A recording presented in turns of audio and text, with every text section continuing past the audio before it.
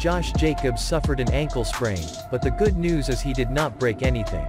We have watched the star back grow in front of our eyes this year, but if he cannot go it will be a huge loss to Raiders. Jacobs will be playing the Jets this week so if he can go it would be huge for fan. Jon Gruden was asked if there was any concern about Jacobs' injury and he said, obviously there is. That is not a very good sign, but if it is not a high ankle sprain he could tape it up and go. Right now the Raiders are 6-5 and are in second place in the AFC West behind only the Chiefs.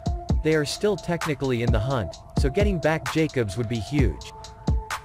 Daniel Jones suffered a hamstring injury against the Bengals in the third quarter but did return for a few plays. After limping off the field though, he was seen on the sidelines encouraging his teammates until the end of the game. Giants head coach feels optimistic about Jones, but if the team does in fact take caution, the Giants would have to turn to veteran QB Colt McCoy. McCoy has not started a game since 2014. There is some good news on DJ Moore. Matt Rhule will not rule out the star wide receiver DJ Moore who suffered an ankle injury in Week 12. The Panthers have a bye this week which would give more time to rest.